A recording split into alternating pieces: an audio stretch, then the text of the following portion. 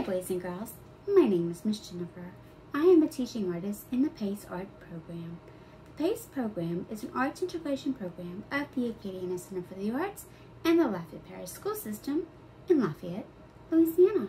And today we are going to be learning about pandas, where pandas live, and what pandas eat. So let's go ahead and let's get our supplies so that we can get started on this lesson.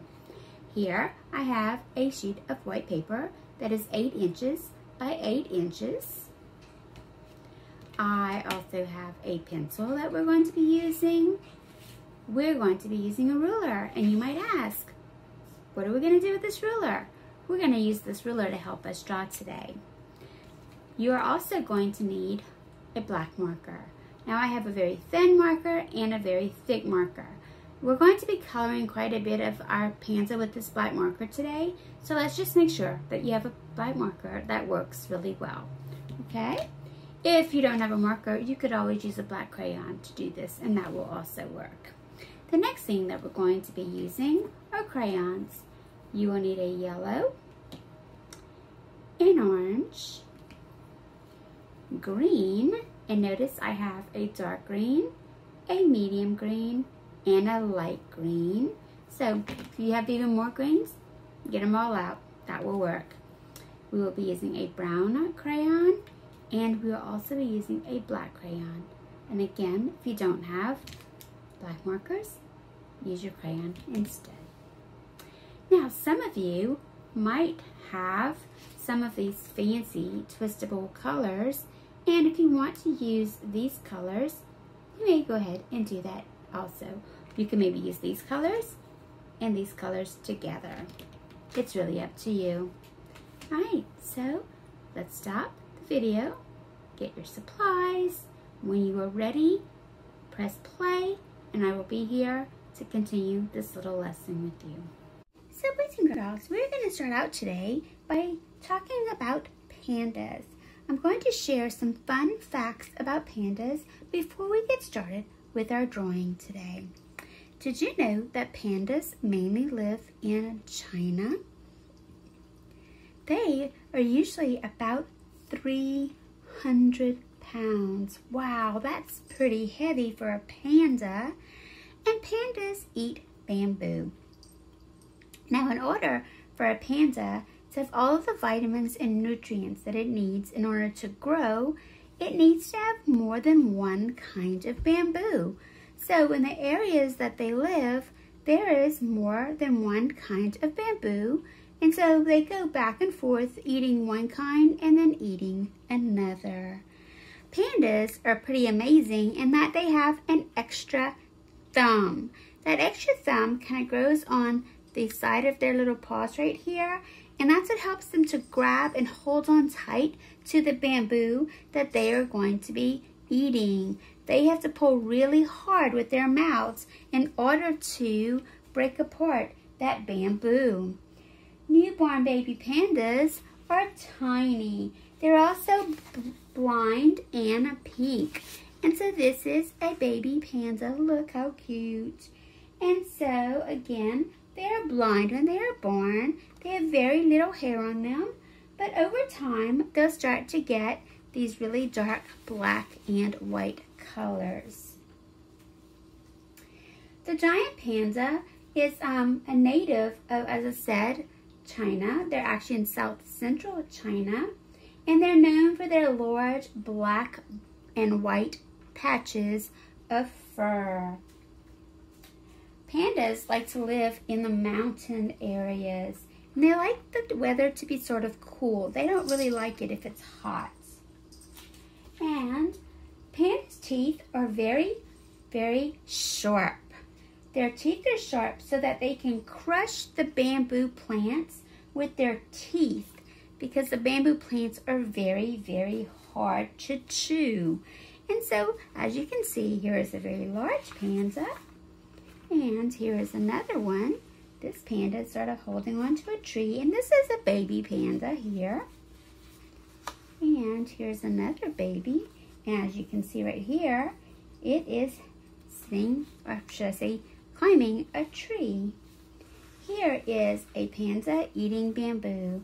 Bamboo, again, is what they eat. And so here you can see he's tearing it apart with those sharp teeth that he has. All right, and so here again, here is the baby. And here is another panda.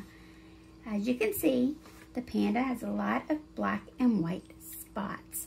And we're going to be making a panda today. We're going to actually be making a drawing of a panda. Now pandas, again, like to eat bamboo. These are bamboo plants. Bamboo plants have leaves and then they have these like hard stems right here. And this is what the panda eats. Here is another picture and this is what they look like in nature. Nature, of course, is what we see outside. This picture Miss Jennifer took uh, that are right um, next to my house. Um, and I thought you would like to see what they look like in real life. And so, let's go ahead and let's get ready to start our panda drawing. I'm going to put my panda back on the top so that you can see the panda. And this is what we're going to be doing today, boys and girls.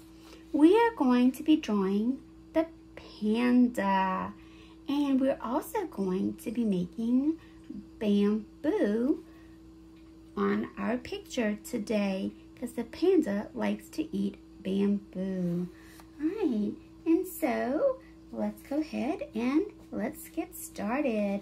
Please make sure that you have your supplies that you need. And if you do not have that now, go ahead and pause the video, get what you need, and press play when you're ready to begin. All right, boys and girls, I am now ready to start working on the drawing part of this lesson with you.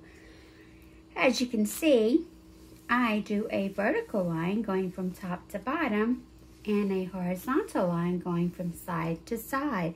That is what's going to help us draw our panda today. And so here I have a white piece of paper. You're going to take your paper and you're going to fold it in half so your corners are touching. And there you go. So now I folded it in half. Then I'm going to take my paper and I'm going to fold it the opposite way. And now I have a fold going this way and a fold going this way, this way, and this way. Now the next thing that I'm going to do is I'm going to take my ruler and my pencil and right along the folded line, I am going to draw right over the folds and now I have divided my paper into four equal parts.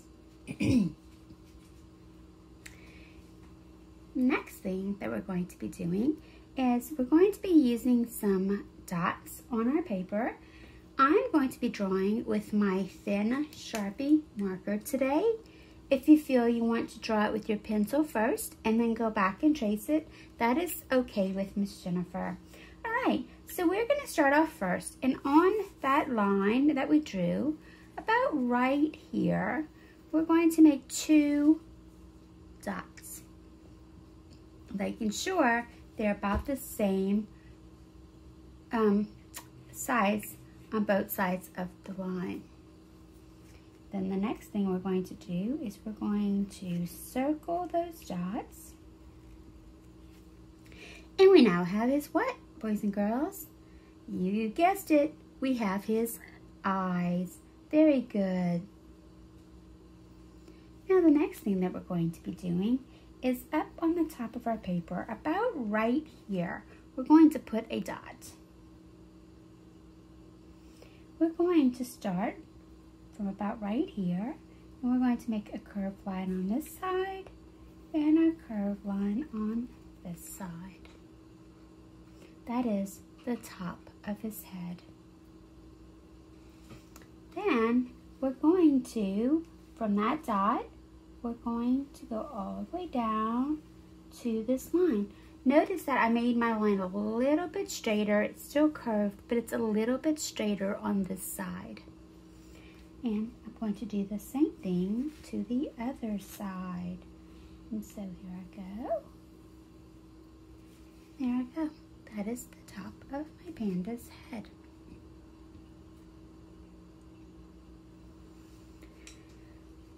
Now about right here, I'm to make this really big curved line. And what do you think that might be, boys and girls?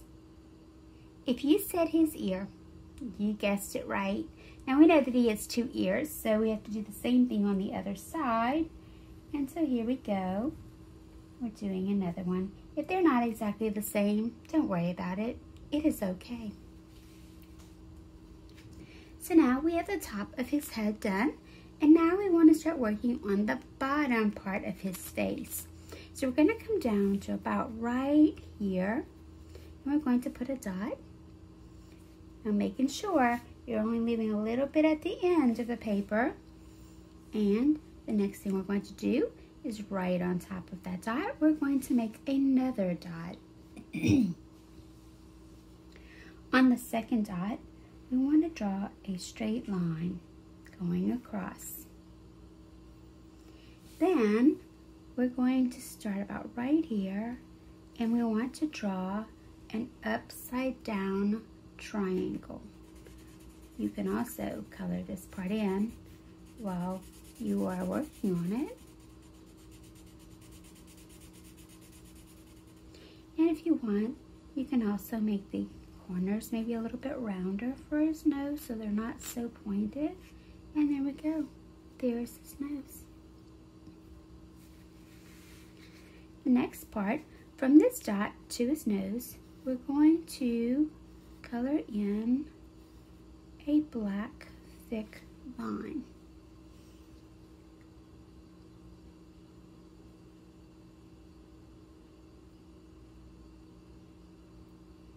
Alright, the next part that we're going to do is we're going to make a curve going this way and a curve going this way.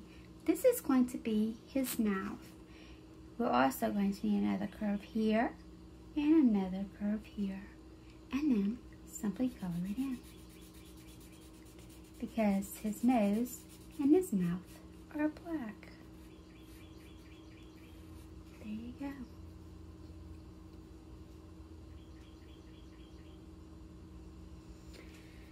Alright, right underneath his mouth, we're going to put another dot.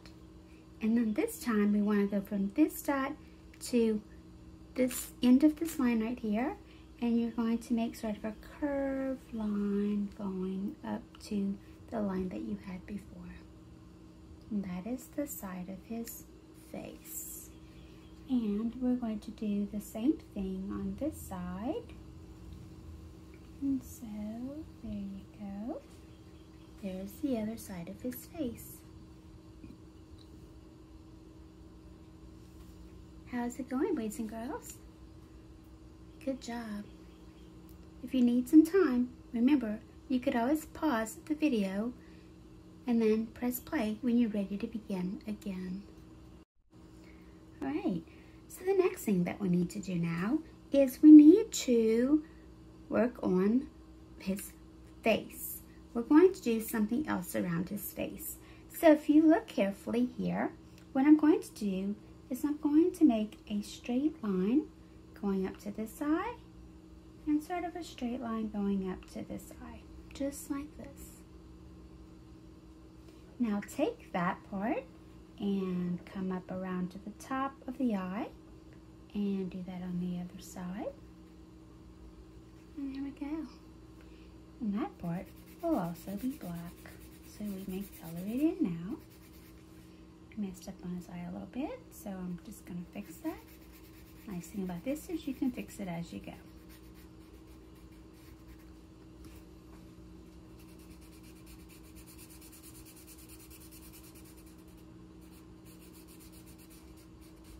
so there's one eye, and we're now going to color the other one.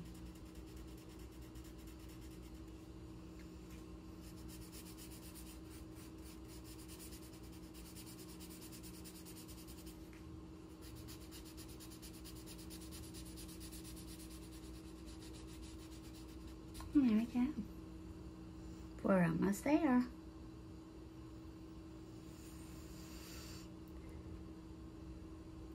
Now, what we're going to do is we're going to start about right here, and we want to make a curved line that sort of touches the top of his eye.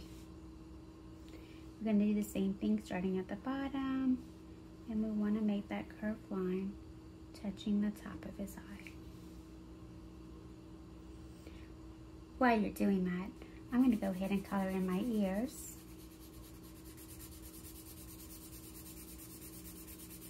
And you know what? Actually, I think I'm going to get my big marker, my squeaky marker that is, and I'm going to color this in since it's a larger section.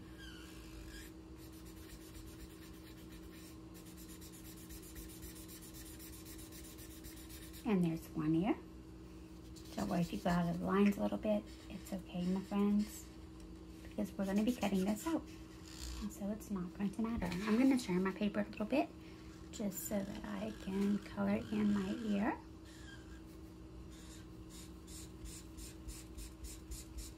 There we go. Mess up a little bit. Just go back and fix it. There we go. Alright. So now I have ears. And there is something else that we need to do.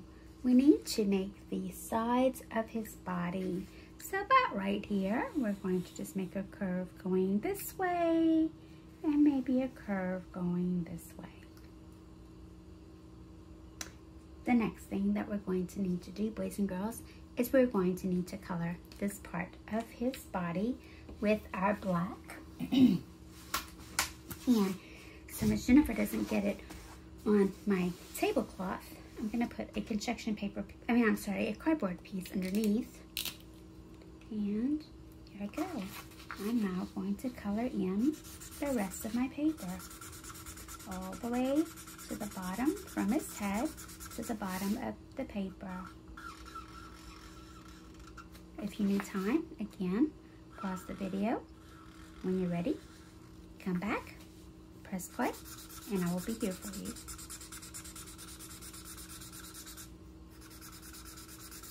Now you might have to color over and over a little bit, boys and girls, because as you can see, I have started some um, light black spots on my paper, and that's okay. That's just when you color fast, sometimes it happens. But you can go back and you can keep just coloring it as dark as you need it to be.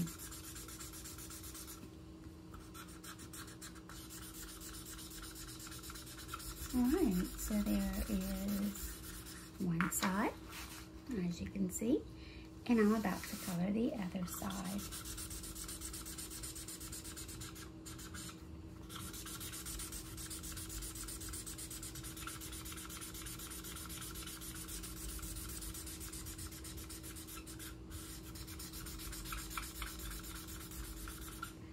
Alright, how is yours coming out? Are you getting all this black done? I sure hope so. I'm gonna turn my paper again.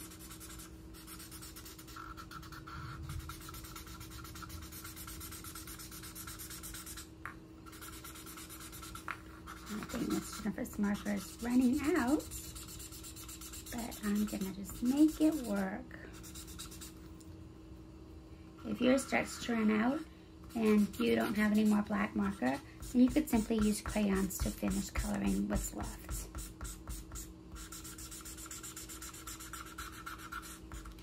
Alright. I'm going to go back and color over some of my white.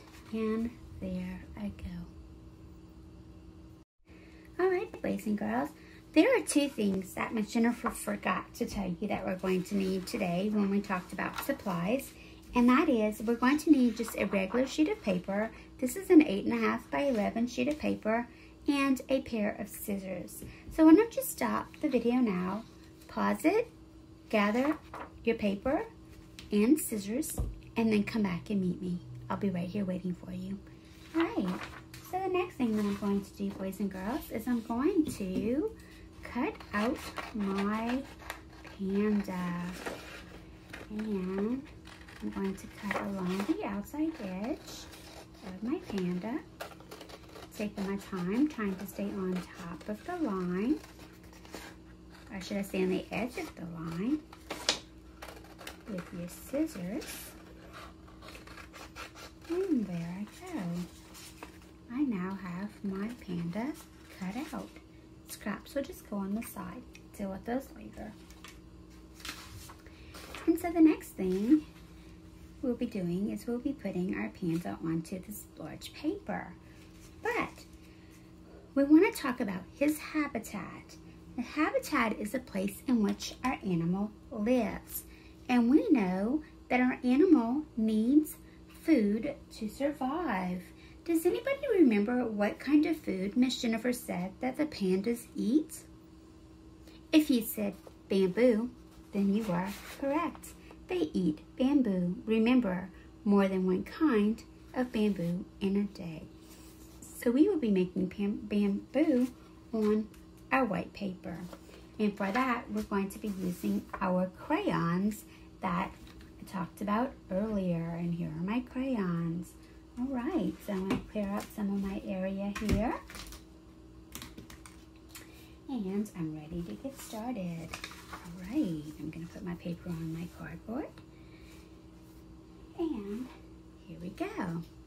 If you look carefully at this bamboo plant, you will see that the bamboo plant has these long leaves, but they also have these tall, thick, hard stems. On each stem, there is a little brown line, and that's kind of where each part of the plant keeps growing and growing. It makes this like little ring around the plant. So we're definitely going to be doing that today. All right, so move this over. Let's see if we can get some of our bamboo picture to show, and there we go. All right. And let's get started. So I'm going to start off first, boys and girls, by using my dark green. And all I want to do is I want to use some straight lines. And I want to go all the way to the top. That is one piece of bamboo. And then you can, sometimes bamboo also kind of turns to the side, just like this. And remember, it has those little parts that are kind of like those little curved lines. So we can add curved lines up our bamboo. And I'm going to do that to the other piece that I just drew here. And the idea for this, boys and girls, is to have bamboo on both sides of your panda. So here, I'm going to draw another piece of bamboo, making my lines as we go. Some of your lines can be straight, some of them can be sort of like a curved line. And I'm gonna make one more here. Making sure to go back and put those straight lines or curved lines for on your bamboo. And so there we go. All right. Now, what you're going to do is you're going to take your dark green, you're going to kind of color some of this. You're not going to color all of it. We're going to add some other colors. All right, so there we go. I have some of my colors, and I'm sort of coloring a little darker next to those little um, brown pieces, and we're to color this brown in just a little bit because I want to make them sort of look like it's darker along that part. Alright, so there's one. And do the same thing to the next one.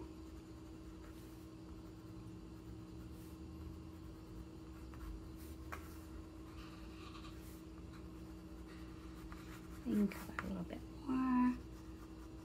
Now the sides of your bamboo you might want a little bit darker. I think Miss Jennifer's cardboard piece that's underneath is keeping me from drawing them very straight, but that's okay. And so that's one side. And now I want to go back and I want to, on this side, add the second little line that I didn't put on my bamboo. Just like this. Again, doing the same thing, coloring it in with some green, putting some dark green right above those little brown sections where the bamboo sort of grows and connects together.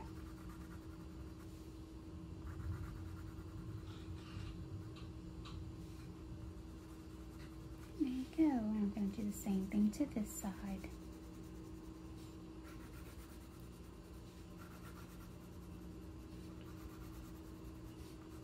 How's it going, boys and girls? How's your bamboo? Is it nice and tall? I bet it is. All right. All right, so now I finished coloring the dark green. And now I think I want to color it in with some light green. You could actually use a little maybe yellow right here if you don't have light green. That would be perfectly fine because if you look here, not all the bamboo is dark green. There are some lighter areas on our bamboo. And so there we go.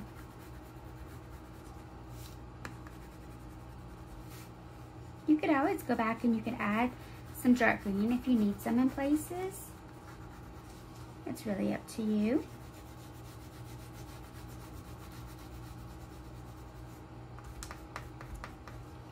Right, here I think I want to go back. And I'm going to make, while you're coloring, I want to make a little bit of my bamboo on the edges a little bit darker. Just like this. I'm going to do the same thing to this one. So when you finish coloring, oops, you can go back and if you want to make those lines a little bit darker, you definitely can do that. Alright. And so there you go. Remember, we talked about that brown and right here we have a little bit of brown on each of these little sections. And so here you can go back and you can add some brown to those little lines that you made.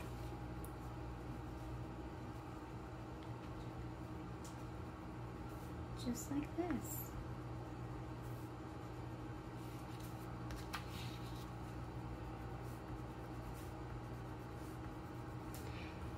Jennifer is not going to be coloring the background. The background is the part that's going to be behind the panda, which is this piece of paper.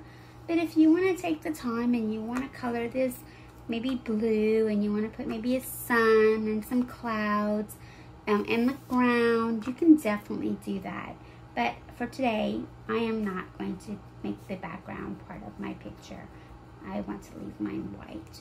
All right, you can go back and you can also add some orange kind of here and there because sometimes the plant is not always bright green and you might see a little orange on your plants.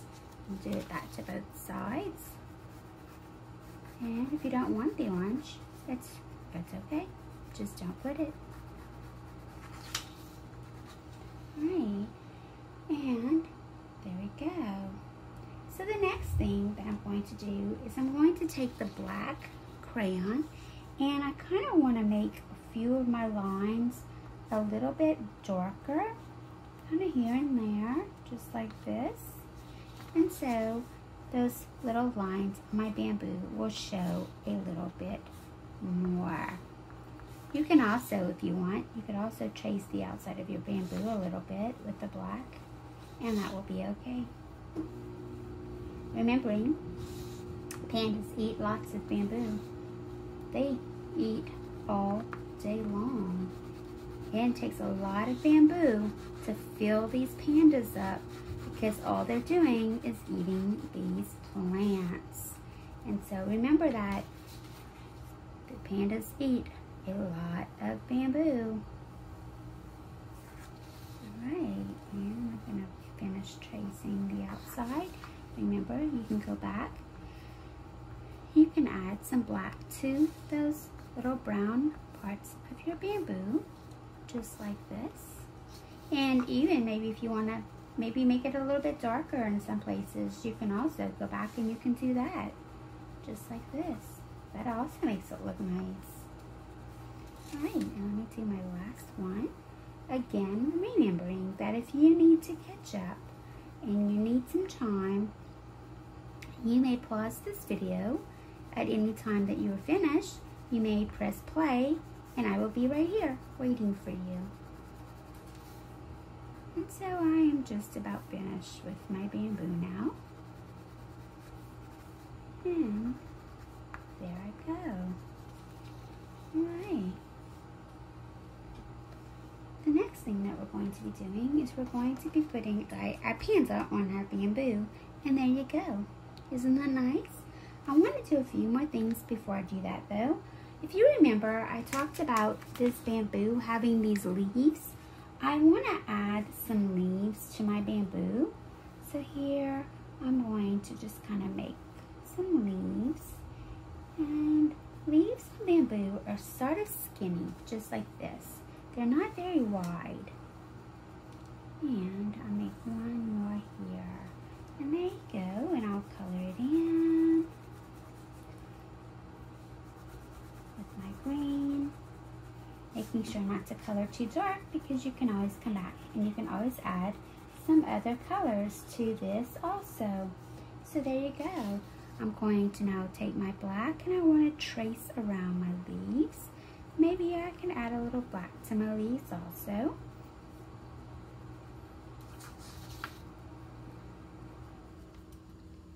And there I go.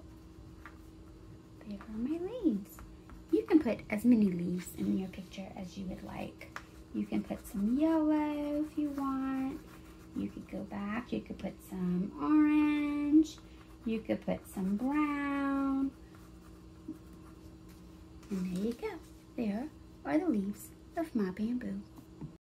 Now that I have finished my bamboo, boys and girls, I am going to take my panda and I'm going to turn my panda over and I want to put glue on the back of my panda making sure not to put too much glue.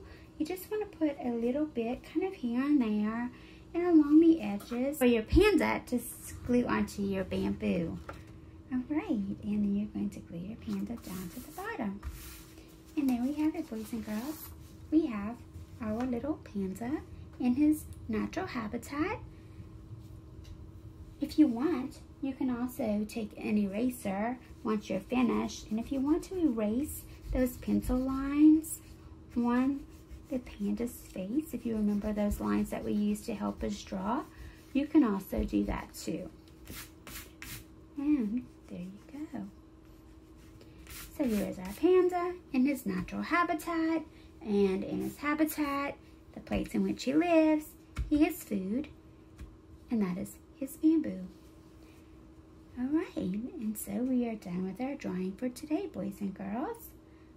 I hope that you enjoyed doing this, and if you want to spend a little bit more time coloring, then you definitely can do that. Maybe you can take your marker, make your black a little bit darker, and hey, what about making another one?